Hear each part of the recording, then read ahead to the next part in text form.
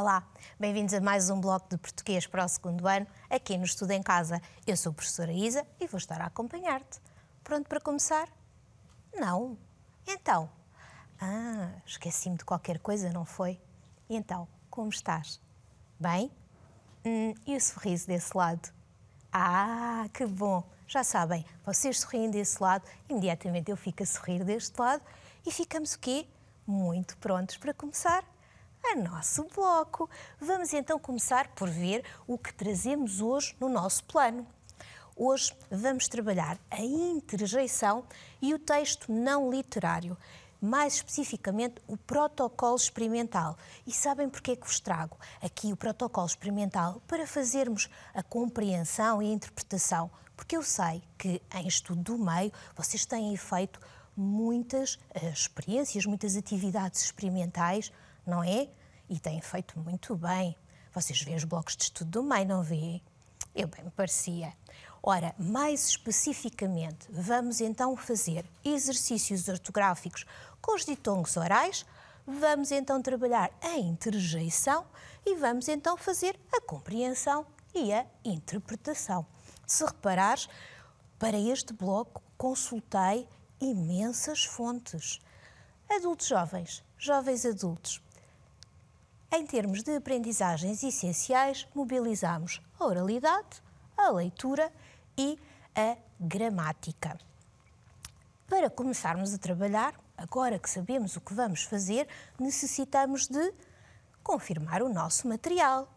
Vamos então confirmar que temos tudo: o lápis bem afiado, a borracha, a folha, o caderno e a régua. Ora, se te estou a pedir régua, isto quer dizer que mais à frente vamos realizar alguns exercícios em que temos ligações. Muito bem. E agora, pronto, pronto, pronto para iniciar? Boa. Então, vamos iniciar com fazendo uma revisão e fazendo aqui alguns exercícios de aplicação com os ditongos orais. Vamos então aqui recordar quais são os nossos ditongos orais que já trabalhamos bastante. Ora, o ui, eu, ao, ai, eu, ei, oi e ou.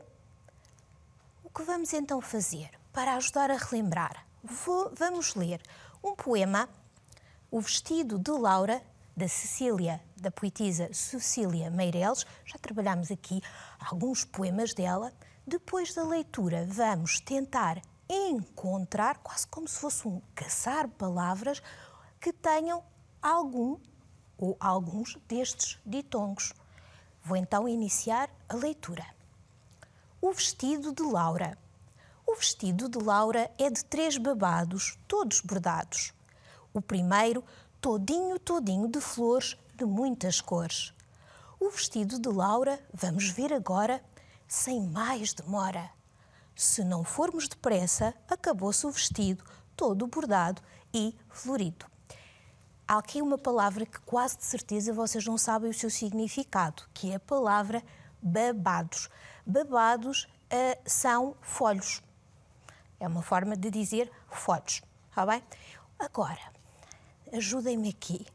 Será que conseguimos encontrar palavras com os ditungos orais? Vamos tentar encontrar. Ora, vamos aqui, vou dar-te uns instantes para que tentes perceber e consigas identificar algum e depois vamos passar então a tentar encontrar. Ora, aqui, logo no primeiro verso, tínhamos no nome da menina e se reparares, Laura tem o ditongo ao, mas também tínhamos Laura, o nome da menina, no no título, não era? Então, na palavra Laura, sempre que ela nos surgir, sabemos que temos um ditongo oral. Mais algum? Primeiro. E então, em, na palavra primeiro, qual é o ditongo? É o aí de casa, o ei. Hum, se teremos mais algum, se calhar vamos procurar melhor. Muitas. Então, e muitas? Qual é o ditongo? Ui, boa! Novamente Laura. Qual era o ditongo em Laura? Uau! Correto! Mais. E em mais, qual é o ditongo? O ditongo? Ai, muito bem. Acabou-se. Em, na palavra acabou, tínhamos o ditongo ou acabou-se o vestido todo bordado e florido. E encontrávamos mais algum? Não? Vamos então ver como é que eles nos aparecem, todos, todos, todos certinhos. E então, quais as palavras do texto em que encontramos um ditongo oral? Todas aquelas que nós tínhamos o quê? Conseguido caçar, conseguido identificar. Vamos então. Laura, primeiro, muitas, mais e acabou-se. Conseguiste recordar? Então, e agora, se eu te propuser fazermos mais alguns exercícios em que possamos encontrar, em que possamos depois identificar os nossos ditongos orais. Pode ser? Ótimo. Então vamos já partir para. E o que temos? Temos eh, algumas imagens que eu já vou passar a descrever-te. Vou passar a descrever-te e depois vamos tentar o quê? Colocar as palavras, ou seja, fazer a sua legenda. Vamos então começar. Vou começar por ler as palavras e temos já ali um exemplo muito bem preenchido. Ora, a primeira palavra era Rui. E se reparares, por baixo da imagem do menino que tem os auscultadores e está a ouvir música, temos já o seu nome, que é para percebermos o quê? É um exemplo para sabermos o que temos que fazer. Rui. De seguida tínhamos a palavra caixa, a palavra baloiço e a palavra pneu. E as imagens, a saber, tínhamos uma caixa de, de papel, tínhamos um pneu, pode ser um pneu de um carro, e na última imagem tínhamos um baloiço. Um baloiço podia, pode estar, por exemplo, num parque infantil. Agora o que temos que fazer? Temos que fazer aqui a legenda caixa ficava por baixo. Até, até parecia quase de propósito, não era? Agora, baloiço será na terceira imagem ou na quarta? Ora, baloiço era a última imagem e sobrava-nos pneu. Estes ditongos eram todos iguais ou eram diferentes? Eram diferentes. Todas as palavras tinham ditongos diferentes. Prontos para mais uma? E agora sem exemplo, pode ser?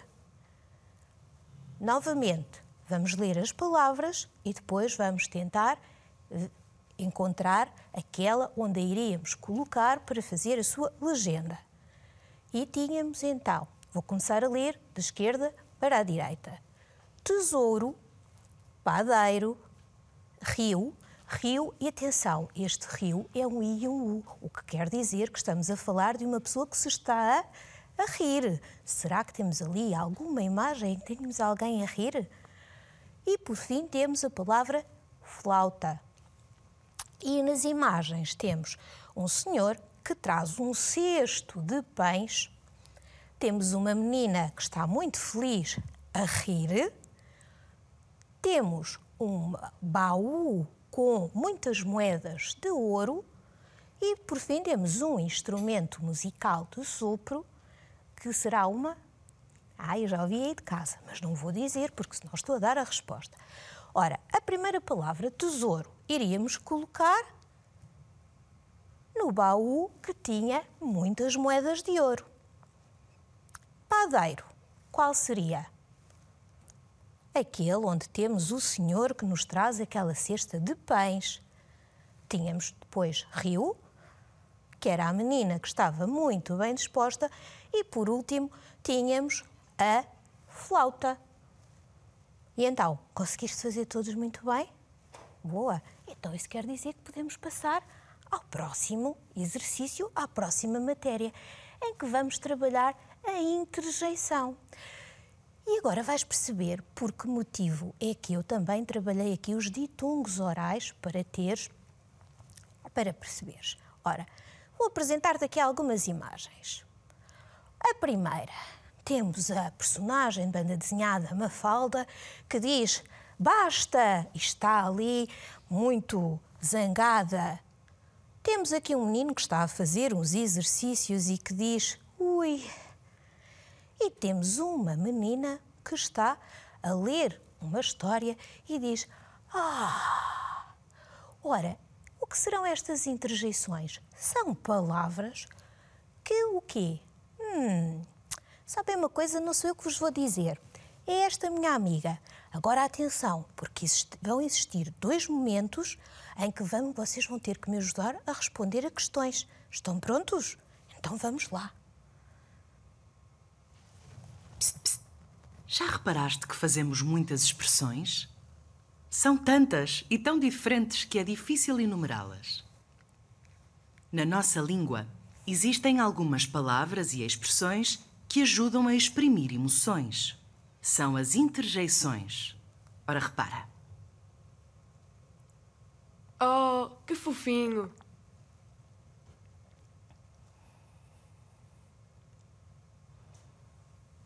Oh, que fofinho! Então o que querá dizer este oh? Surpresa e alegria? Pode ser? Muito bem. Aqui a interjeição oh reflete a surpresa e a alegria do menino. E neste caso? Oh, não acredito. Este oh, o que será? Surpresa e alegria, desilusão e tristeza ou medo e espanto? O que vos parece? Desilusão e tristeza, será? Esta mesma interjeição, oh, pode também exprimir desilusão e tristeza. Descobre agora outras interjeições e os seus valores, como irra para irritação ou vamos para encorajamento. Repara que são normalmente acompanhadas de ponto de exclamação. Ha! Chegamos ao fim e as interjeições já não são um mistério para ti. Bravo! Muito bem. Então, esta nossa amiga conseguiu-nos explicar muito bem o que eram as interjeições? Hum, ficaram algumas dúvidas? Não há problema, vamos já fazer aqui um pequeno resumo.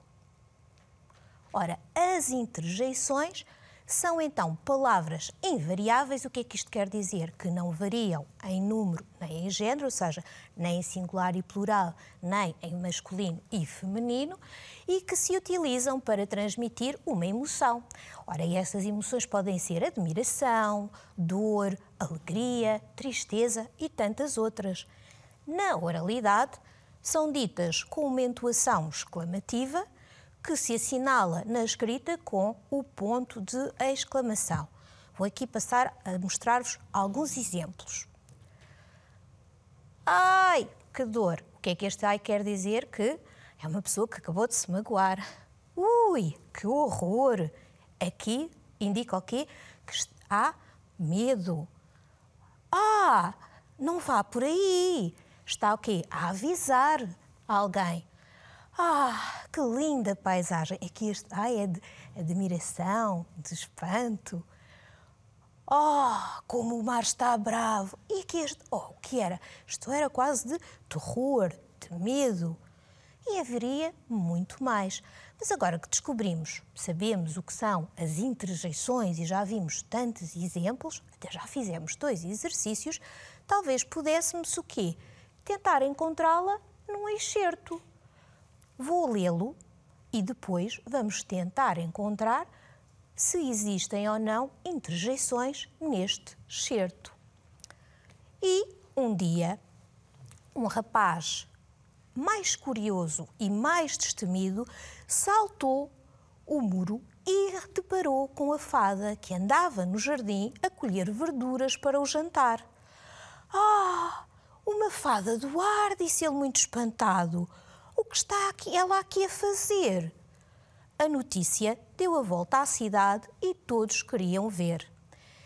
É um excerto retirado do livro O Senhor do Seu Nariz e Outras Histórias, que é de Álvaro Magalhães. E aconselho-vos a leitura porque tem histórias fabulosas, inclusivamente esta. Então, conseguimos identificar alguma palavra que exprima admiração, ou seja, alguma interjeição? Sim. Muito bem. Ah! Ele fica muito admirado quando encontra a fada. Então, e se fôssemos tentar encontrar em mais exemplos? Por exemplo, desta banda desenhada. Vocês já devem saber que eu gosto muito de bandas desenhadas da Mafalda.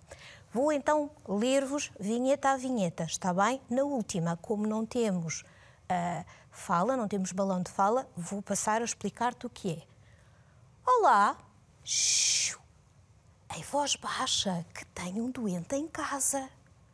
É o teu papá que está doente? Não. Então é a tua mamã?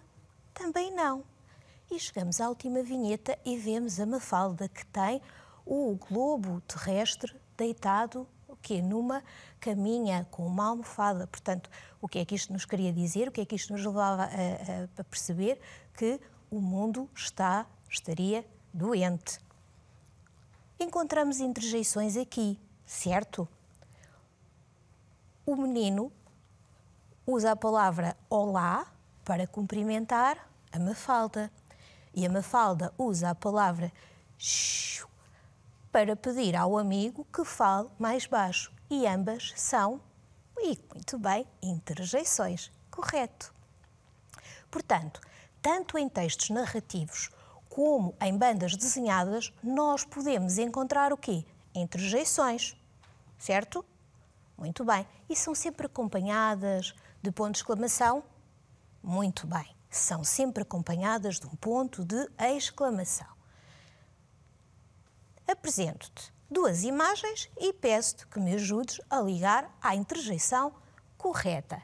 Na primeira imagem temos uma menina que está com uma cara assim um bocadinho. Uh, terá feito ali algum disparate. Está ali com uma cara. E na segunda imagem temos uma menina que está maravilhada, está feliz, está contente. E as duas interjeições que ali te apresento são uau e ups. Qual será a menina que está a dizer ups? A primeira ou a segunda? A, a primeira. O que quer dizer que a segunda menina está, uau, muito satisfeita. Pronto para mais um? Então, vamos a mais uma. Temos aqui dois senhores. O primeiro tem assim as suas mãozitas na cara hum, e parece-me que está ali com um espanto. Na segunda imagem temos um senhor que está magoado nas suas costas, até tem a mãozita nas costas, parece que está ali aflito. E as interjeições que te apresento são ai e oh. Qual, dos, qual será? Para a primeira imagem, o que será? Será o. Acham que será a dor? Aquele ai de dor? Não, pois não. Essa seria, se calhar, mais para a segunda. Então queria dizer que primeiro senhor tinha um oh de espanto. Vamos ver se vamos, conseguimos ligar corretamente. Ora, ligávamos primeira expressão ao oh e a segunda Ai, que o senhor estava ali com uma dor. Hum. Ora, já percebemos que podemos ligar quando temos o quê? Só uma expressão facial. E agora, se quiséssemos encontrar em algumas, alguns excertos, é isso que eu te trago e vamos tentar encontrar excertos de, ou frases de textos narrativos, sem ser em banda desenhada, onde é mais fácil conseguirmos fazer a sua identificação.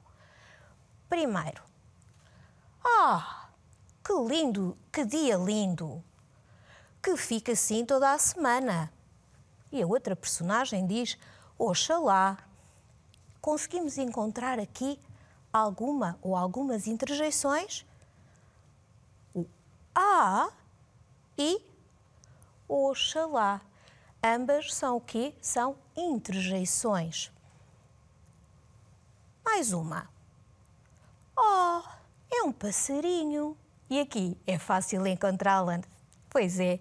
Temos logo aqui o oh, que já tantos exemplos vimos. E nesta, estou a escutar qualquer coisa. Aqui encontramos alguma interjeição? Recordam-se do exemplo da banda desenhada da Mafalda? Muito bem. Chiu, o chiu será a interjeição. E mais uma, pode ser mais uma? Vamos então nesta. Temos Olá, que andas tu por aqui a fazer? Aqui parece-vos que temos alguma interjeição? Não? Sim? Então qual é? Quando temos o cumprimento Olá. Ora, muito bem. Então, digam-me, conseguiram perceber o que são as interjeições, como é que as podemos dizer oralmente, como é que podemos encontrá-las? Ótimo, muito bem. Ora então, só para clarificarmos e fecharmos o assunto. Já sabem que podemos encontrá-las nos textos, tanto narrativos como nas bandas desenhadas. Claro que nas bandas desenhadas é provável que seja mais fácil. Podemos também o quê? Ligá-las quando temos imagens de expressões faciais. Muito bem. Elas estão sempre com um sinal de pontuação. Recordas de qual era? Isso mesmo, era o ponto, era e é o ponto de exclama, exclamação. E agora estamos prontos para, se calhar, passarmos a outro tema. Sim, não é? Parece já percebemos tudo, podemos passar ao texto não literário, ao protocolo experimental. Vou então aqui apresentar-te aquele que eu selecionei e vou depois deixar-te nos recursos, caso queiras fazê-lo uh, na, tua, na tua casa a professora foi uh, retirar este protocolo ao, pavilhão do conhecimento, ao site. Existem lá muitas outras. Claro que tens também disponíveis várias, de certeza, no teu manual de estudo do meio e muitas vezes nos manuais de português. Vamos então prestar muita atenção para perceber quais são os elementos importantes para conseguirmos fazer a interpretação e a compreensão de um protocolo experimental. Já sabemos o que queremos fazer, porque está logo no título, que é o moinho de vento. E preciso de, aqui temos o material, molde de papel, palhinha, agrafador, tesoura e clipe. De seguida temos o que? O procedimento, que é como fazer. E temos aqui alguns passos. Vamos então lê-los. Recortar o moinho pelo tracejado de acordo com o molde. Alternadamente, dobrar e juntar quatro pontas ao meio. Agrafar as pontas dobradas ao centro do moinho. Segurar o moinho à palhinha usando um clipe. Soprar o moinho.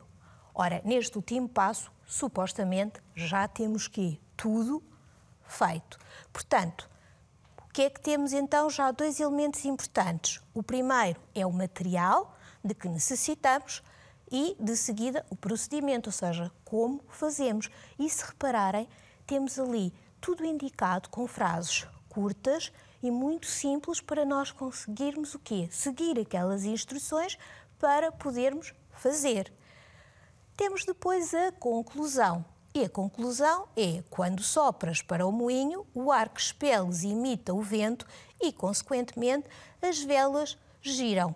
Ou seja, explica-nos o que é que acontece quando nós fazemos esta experiência. E temos depois uma curiosidade, neste caso, com o sabias que a atmosfera, o ar, está sempre em movimento e que o vento é deslocado Vou ler isto mesmo bem. Sabias que a atmosfera, o ar, está sempre em movimento e que o vento é a deslocação do ar? Umas vezes move-se devagar, numa brisa suave, outras depressa, em temporais e furacões. O vento pode ser utilizado para produzir energia, que se designa energia eólica. E no protocolo experimental temos logo o quê? Para além de como fazer, a conclusão a que chegamos e uma que é uma curiosidade.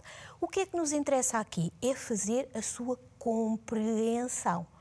Portanto, o que é que tínhamos que prestar muita atenção? Era aos elementos e onde encontrá-los. E é isso que vamos agora aqui fazer brevemente. Quais os materiais de que necessitarias para construir um moinho. E eu apresento aqui uma lista de materiais. Vocês dizem, professora, eram muitos e eu provavelmente não me iria conseguir assim de repente lembrar. Ora, qual é o conselho que te costumo dar para esses momentos? Ter sempre o teu texto por perto. Para, para quê? Para poderes consultar ou tirar alguma dúvida. Vamos então ver se conseguimos encontrar. Tínhamos uh, clipe, tesoura, molde, agrafador, palhinha e furador. Parece-vos que todos eles estavam na lista de material? Não? Então vamos tentar perceber quais os que estavam. Ora, o clipe, a tesoura, o molde de papel e o agrafador. O que é que vos parecia? Recordam-se o ver lá? Também estava a palhinha. Então e o furador? O furador não fazia parte. Esta foi mesmo só para vos enganar. Agora vamos ordenar muito rapidamente o que tínhamos que fazer para construirmos um moinho de papel. Claro que tínhamos lido com muita atenção todas as instruções. Tínhamos então dobrar a parte recortada, com o agrafador unir os cantos do, ao centro do moinho, usar o clipe para segurar o moinho à palhinha, recortar o molde do moinho pela linha tracejada. Vamos então organizar qual é que te parece que seria a primeira. A primeira era recortar o molde. E a segunda, o que fazíamos? Dobrar a parte recortada. Depois, íamos com o grafador unir e, por último, usar o clipe para segurar o moinho à palhinha. E assim conseguimos fazer a compreensão e a interpretação de um protocolo experimental. Espero que tenha sido útil para ti. Vou despedir-me. Antes, vou deixar-te só um desafio. Não te esqueças de sorrir e fazer alguém sorrir. E eu vejo-te no próximo bloco.